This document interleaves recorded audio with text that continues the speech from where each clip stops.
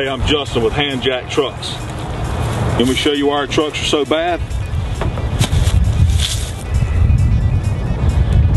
Give me just a minute. You know the funny thing about this one? It's got four inch flamethrowers and dual Chevy hooks so your buddies can keep up. Extra wide scaffolding on the front and the rear because fat can't jump. Need to show you this right here. We got two Fox shots.